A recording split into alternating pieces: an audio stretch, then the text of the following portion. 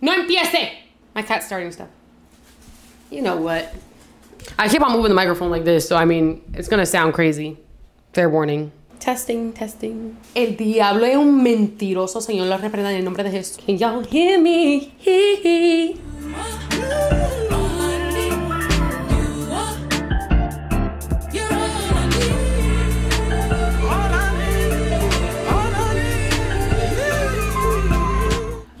Up, y'all? It's Tali. Welcome back to Time with Tali, and actually, specifically, Talks with Tali. Today, I'm going to bring you guys a word that the Lord has put upon my heart quite a while ago when I began my journey with the Lord, um, when I reconciled my life with Christ a couple of months ago. This word was already put on my heart, so I'm ready to let it go. It's it's time. The Lord has been yelling at me already. it's time. Use what I have given you. Go for it. Because at the end of the day, it's it's Him. It's Him that's guiding me. So without further ado, let's get right into it. We're gonna pray first, and I'm gonna share what it is that the Lord has given me and placed in my heart.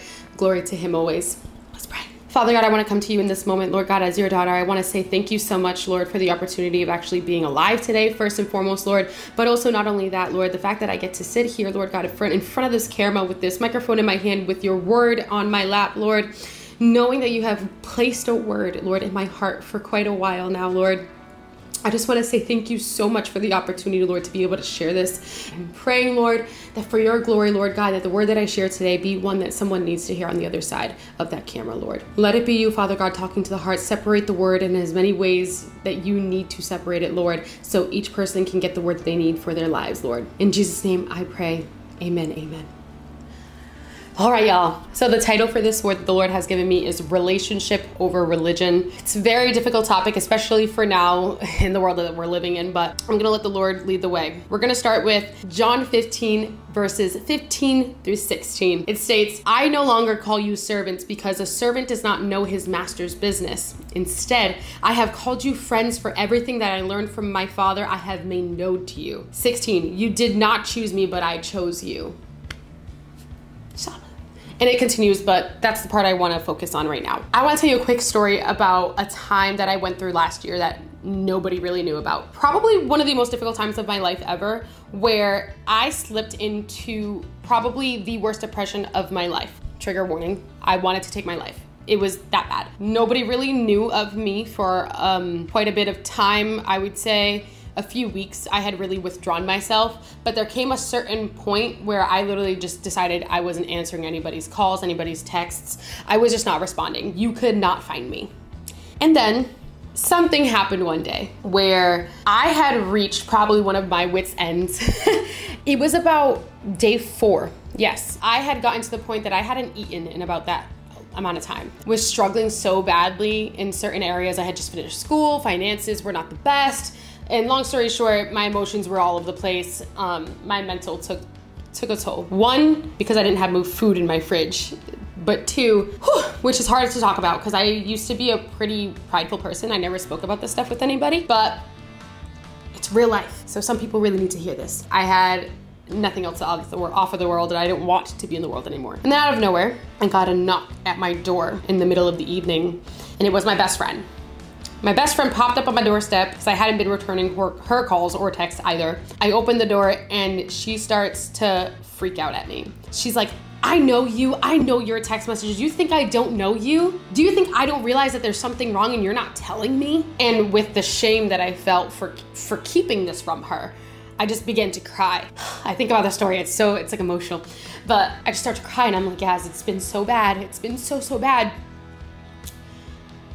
I'm I'm so low right now. I've never been this low. Yeah, as I haven't been able to eat in four days because I had no food, but also because I was too prideful to ask anybody or tell anybody around me that I was struggling. But she knew. I didn't have to say anything. She knew me. She knew even the slightest changes of my behavior in my voice, and she catched it immediately. She allowed me some grace for a little bit there, but when the jig was up, it was done. She was having no more of it. And I'm so thankful that that's the case. I love you guys.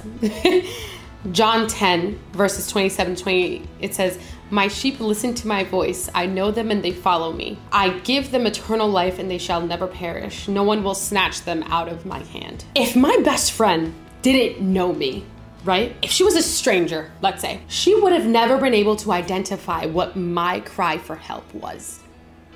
Ooh. Lord, because my cry for help was not obvious. I've never been the type of person to cry a lot. I've never been very emotional. My family says I'm a pretty cold, dry person.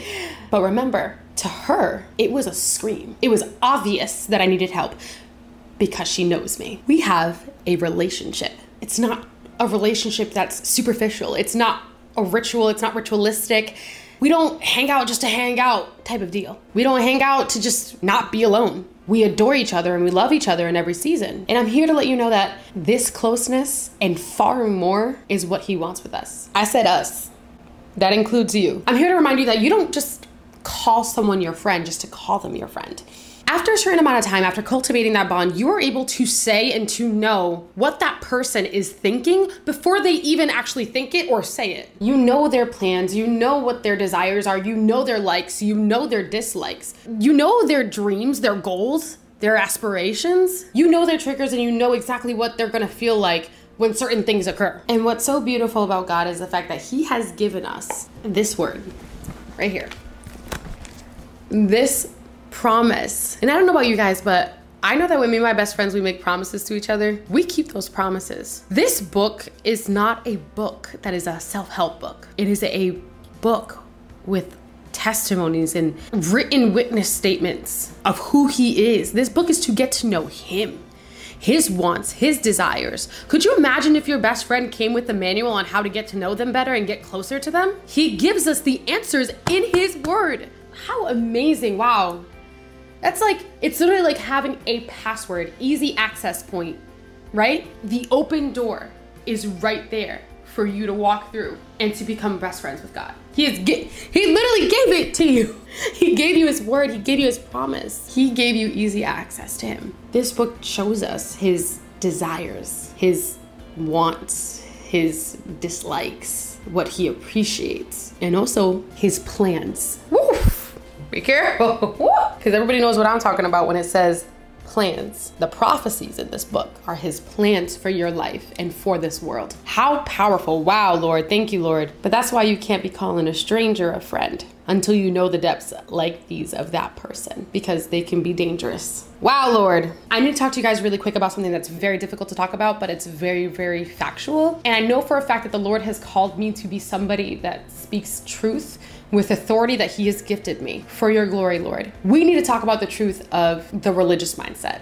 There are very much religious Christians out there. And I need to tell you right now religion and relationship are not the same thing. He wants relationship with us. Religion likes to teach us that there are gods out there that are unreachable, unattainable, that we have to do certain works or certain actions in order to be able to attain them or to attain some type of heaven. When my God, the God I serve, says the total opposite. He is the counterculture. Wow.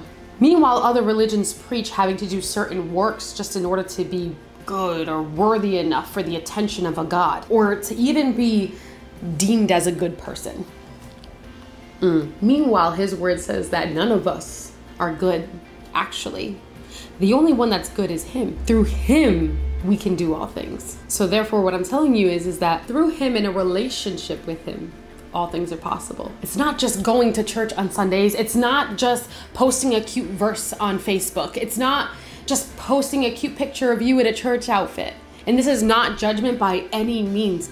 This is me as a sister in Christ coming to you and just saying, hey, there is so much more than you could even imagine in creating a relationship with Him. There is so much more depth than you could even perceive right now. But many people are so used to the superficial type of relationships. That commitment, woo, Lord, speak, that depth scares them. Some people are too scared to get into deep. Wow, Lord. Thank you, Holy Spirit. Wow. Because they've been hurt in the past. And can I tell you, what hurt me in my past was exactly that religion. Religion is what hurt me, what caused church trauma, church hurt. It indirectly caused me to believe that actually it was God that was hurting me. That the God that they were teaching me about was the God that was real, and that He did not like me, He did not love me, He was sending me to hell if I wasn't perfect.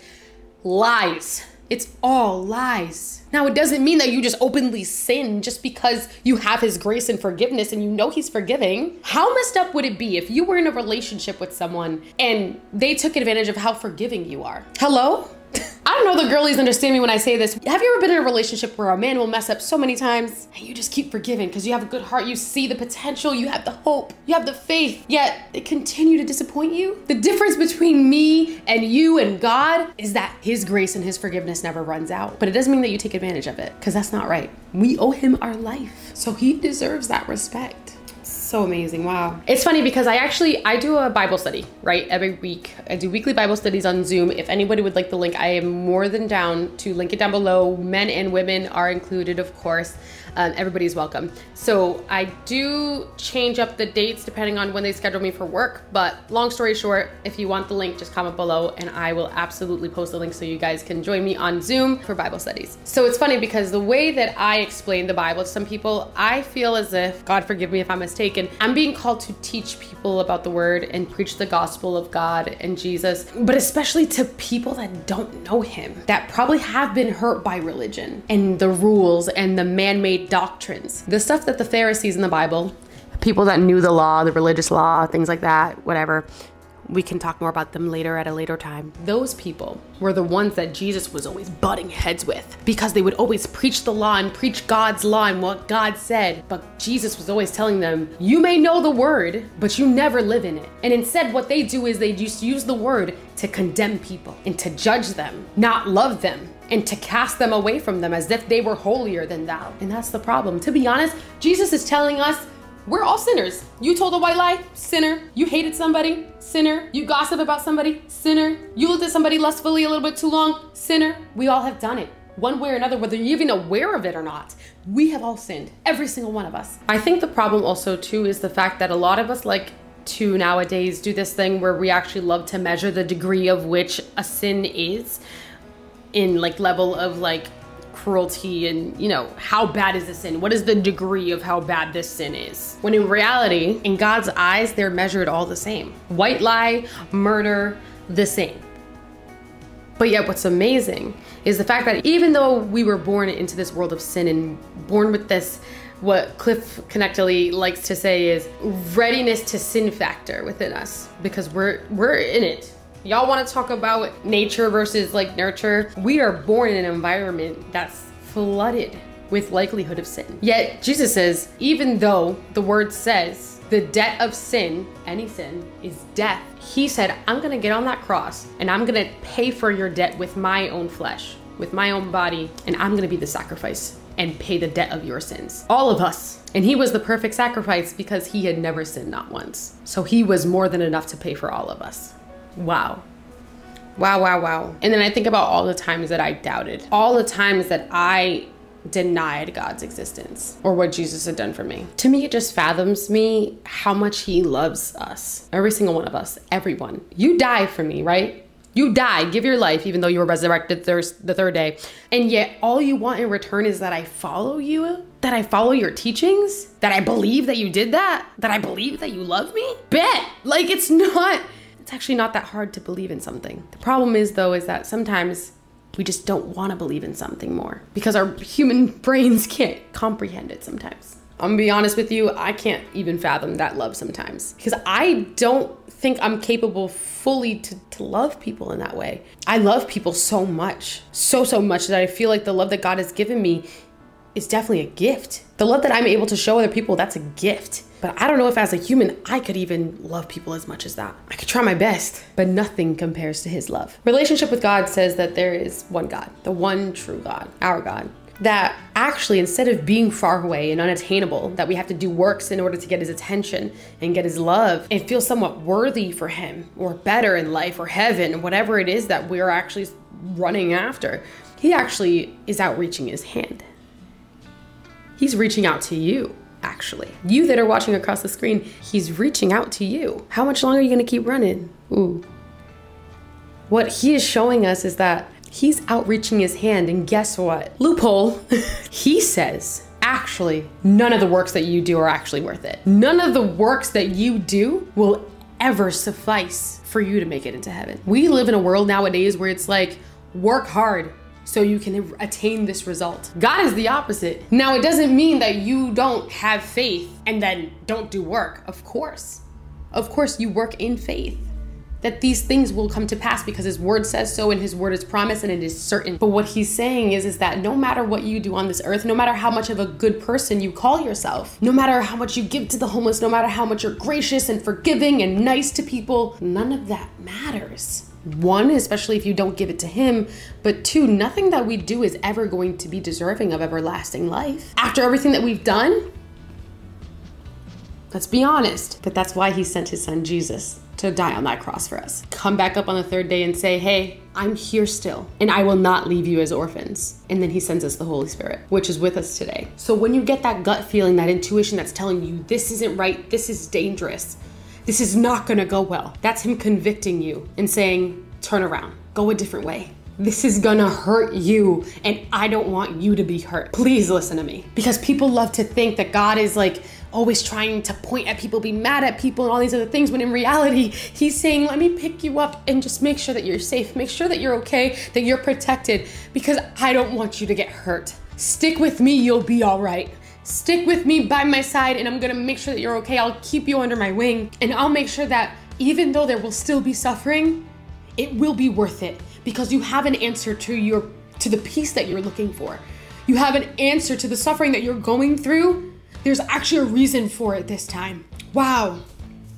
Wow, God. It's really just up to us to reach back out to Him. It's hard because sometimes, as a person, let's be very, you know, real, because I've always been very real on this channel and I'm not gonna stop being real. It's been really difficult to ever tell somebody I'm a Christian because of how people have gotten that sour taste in their mouth due to the actions of others that haven't acted in a Christ like way, which is what he calls us to do, right? Just to give some context, what I believe in is I believe in the triune God. I believe in the fact that God is one entity that's made up of three parts. Think of it maybe, I don't know, like a three part uh, triangle. Let's think of a, tri a triangle, right? A triangle has three parts that create one thing. God is one thing, but the three branches of it are Father, Son, and Holy Spirit. If you were to remove one of those corners, there would no longer be God because they're all part of God. They all make up God. It is one God in three different parts with three different functions, three different roles. God is comprised of the Father, Ooh, the big man above. Then we have Jesus, which is God and also human. 100% human, 100% God. The physical was Jesus. And there's the Holy Spirit, which is God's spirit on earth. God said, I'm gonna put on some flesh and I'm gonna shake some things up on earth. I need to go down there myself. I gotta teach them the truth because there's way too much lying, there's way too much sinning, there's way too much killing, there's way too much lust, there's way too much evil down here. They need redirection, they need an answer to the pain. They need an answer to the hurt, to the abandonment, to the anxiety, to the depression. They need an answer to their suffering. Religion, unfortunately, teaches us condemning each other is okay, but also it teaches us. Notice how these two things are very, very different so far. Religion and relationship are two very different things so far. Religion teaches us that, wow, God works from the outside in, right? Got to change your clothes a certain type of way. You got to make sure you don't wear no certain type of makeup. You got to make sure that you don't wear no type of jewelry, no tattoos, whatever it may be. You got to wear a certain type of whatever it is and make sure your outward appearance looks exactly what God would want you to look like. And then He can start working with you. You have to be sinless first before you can come to God. Lies. Wow. Whereas relationship says, Come to me. Jesus says, Is it not the sick that need the doctor? He's come to heal you from the inside out. Doctors don't care what you look like on the outside, they care about the fact that there's something hurting inside you. They care about the fact that you have something that has yet to be healed. Wow. I gotta be honest with you guys.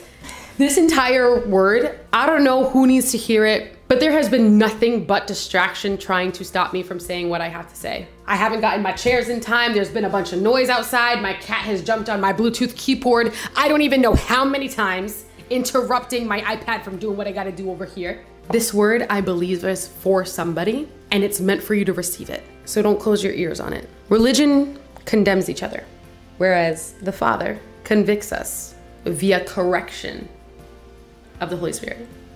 Has your father or mother never corrected you? But he's our father.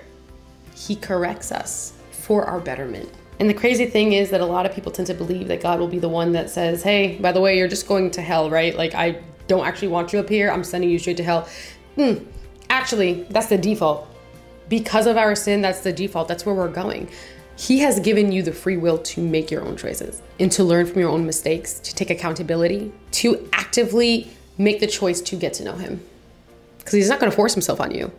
He's a gentleman. He's going to knock and say, hey, by the way, the opportunity is here, just in case you want it.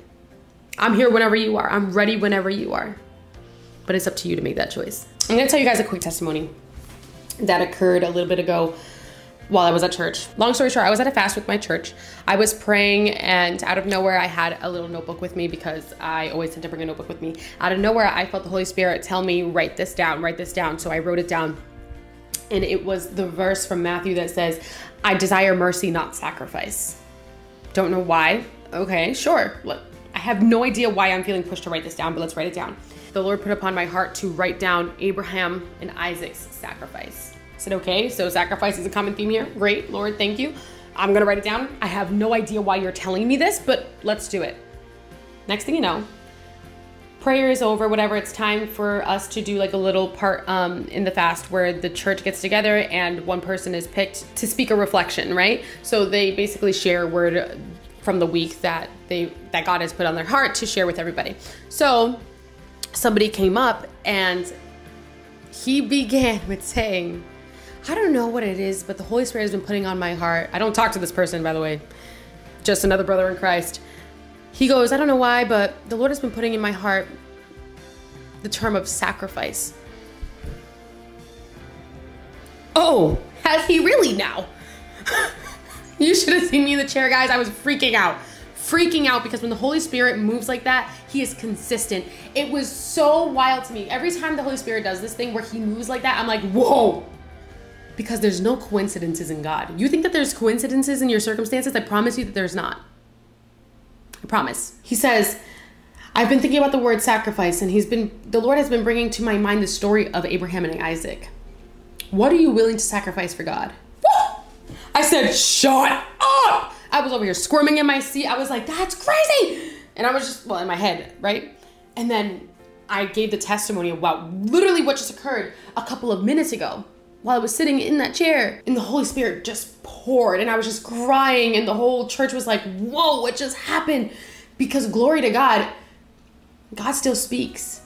But meanwhile, He's asking us, What are we willing to sacrifice for a relationship with Him? Because a lot of us don't want to come to God because we just don't want to change the life that we're living, right? Let's be honest. I don't want to stop partying. I don't want to stop clubbing. I don't want to stop doing the things I gotta do. I don't want to stop sleeping with whoever who I want to sleep with. Let's be honest. Because that's exactly how I was. I wanted to be sinless before I came to God. I was mistaken. Because when I came to God and I asked him, I said, God, make me who you want me to be. How do you want me to do this? Because my myself, I just I still want to keep living the life that I want to live, Lord. And live with you when I want have my own relationship with you. When people would ask me, I'd say, yeah, well, yeah, I have my own relationship with God. One that I made myself, that I cultivated myself, not the one that He actually designed for me to have with Him, that He actually wanted to take control of. Because let's be honest, anything I've done in my power has never really worked out for my good. But He came along and said, let me show you what real relationship is. Woo! Stop it! But here's the word that the Lord gave me in that time. He said, Absolutely, yes, we need to sacrifice for our relationship with the Lord. But religion, mm, we need to be careful because there are people nowadays that are not aware that they're sacrificing God's will by also sacrificing each other. Shut up. Whoa. Glory to God. Wow. I'm telling you, when the Lord speaks, it's crazy. Wow, wow, wow, wow, wow. That verse is from Matthew 9:13 in case you wanted to check it out. The problem is is that those things that the Lord is asking you to sacrifice are things that are going to pull you farther from him. And the farther that you are from him, the worse this is going to be. This life is going to be. The less happiness that you'll have, the less light you'll have. And I know because I went through the I went through 15 years without him. 15 years. Don't ask me my age So, twofold by religion causing us to sacrifice each other, God's children. Mm. God's children, brothers and sisters, that's what we are. So, by us sacrificing each other, that's one right there, that's one sacrifice. And by us sacrificing His will, be us, be us sacrificing each other and the unity He has called us for, we're double sacrificing things that He does not want us to sacrifice. Instead of sacrificing things that we have internally we point the finger and try to sacrifice things from others as if it was our thing to give up in the first place. Wow. God, wow. Lord, speak, speak, speak, Lord. Glory to you, Lord. That verse says, I desire mercy, not sacrifice, for I did not come to call the righteous, but sinners. Oh, he didn't call to come to people that thought that they were better than others. He came to call the ones that humbled themselves and said, I don't deserve you because I am a sinner. I have told a white lie. I have stolen. I have hurt people. I have killed. Do you know how much power it takes to be humble? Wow. God, God, God. Jesus is spicy, y'all. I don't care what y'all gonna say. oh, wow. so Jesus is saying, I didn't come here for those that thought that they were holier than thou and had a VIP pass straight to heaven. Which, by the way, they don't. Nobody is sinless. We are all sinners. What he has taught us is that none of us are better than each other. And the judgment, the pointing fingers, the division that the Lord's churches are being built upon, imagine building a foundation on a divided piece of land. Woo! Wow, Lord. These cliques and the making others feel left out from his love, his mercy, and his grace. That's a no go in God's eyes. Not only that, can I also say this? Ooh, Lord, I had to, the Lord had me write this down, but this is tough. Wow, Lord, glory to you, Lord. This is something that the Holy Spirit is trying to tell me right now that it's hard for me to say. Because sometimes people will hear what I'm about to say and they'll think that the person thinks that they're better than everybody and all these other things. I am nobody. I am nothing without Him. Nothing, nothing, nothing. I am an empty vessel. But when it comes to the ministry of prophetic word, the gift of prophecy, Sometimes we have to speak the things that are really, really hard to speak that nobody wants to hear. The truth was not meant to be pretty all the time, to be soft all the time. His word is described as a double edged sword. You think that was not gonna hurt to hear the truth? And I know, because God has had to correct me and call me out quite a few times, and it never feels good. And I never feel the need to run back to God after I get in trouble with Him. You ever get punished by your parent? You don't just run to them and be like, hey, we're okay now, right? No. You feel shame and you want to run away. And that's what happens though when people hear the truth of his word. And the truth of his word says that we need to love each other, but also that we need to have a relationship with him. Our relationship equals consistency, communication, effort, depth, and connection. The Holy Spirit revealed to me that many people in religion today are not only sacrificing God's will and each other, by eliminating relationships between one another. Ooh, ooh, Lord. But they're also attempting to sacrifice each other's ministries. Ooh, God. That's tough. Mm. Wow, wow, wow, wow. Okay. There are people in churches getting sacrificed and killed spiritually. They're dying spiritually. They're being attacked with arrows from the pews of the churches, rotting away spiritually. They're dying because lack of word, because of lack of love, because of lack of connection with the Lord and what He's called us to do. They're dying out there. And people, the nation is screaming for God right now, needing God and everything that He has to offer. And there's people on the pews acting as gatekeepers, not allowing to for God to step through and heal the people of the church because some have made themselves leaders and chief in command, and they're sacrificing God's position where he should be, which is front center of the church. I also want to remind you, though, that this isn't happening without cause or a purpose. This is biblical. All of this is biblical. This was actually preached about already in the Word. In John 16, verses 2 to 4, it speaks of church hurt and people acting in this way. Let's find the verse. Hold on. All right, I found it. I found it. It says, I have told you these things to keep you from stumbling.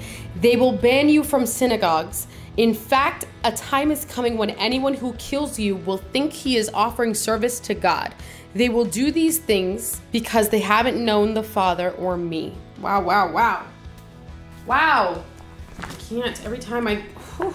He warned us that people were going to do this. I just want you to know a little bit about the person that I'm also telling you to be in a relationship with. I believe that God is so misunderstood still to this day. Because, not for nothing, so the Jews believed that what they were getting was a Messiah that was like the king of armies, right? Which he is. But Jesus then presents himself in physical form as basically a pacifist, right? He was one of the ones that when the adulterating woman who was caught in the act came to, they brought her to him. The Pharisees were yelling at him, saying, due to the law, that we should stone her. But he was clever. And he said to them, The first of you to be without sin, throw the first stone. Y'all like to throw stones while you living in a glass house, is what Jesus said. He was a pacifist. He, he wasn't misogynistic like people think he is. You know how many women preach the word in the Bible? And everybody loves to take this one verse out of context where it's talking about the woman in that specific time that were absolutely not examples of the women of the Lord, but there are prophetesses, there are fighters, there are prayer warriors, there are women of God in this book, in the Bible, in the Word of God. And not only that, women are actually described with the same characteristics and and adjectives that are used to describe God as well. He loves all of us, every single one of us. He even actually revealed himself first to women after he resurrected from the cross. Hello? Well, technically, he resurrected from the tomb.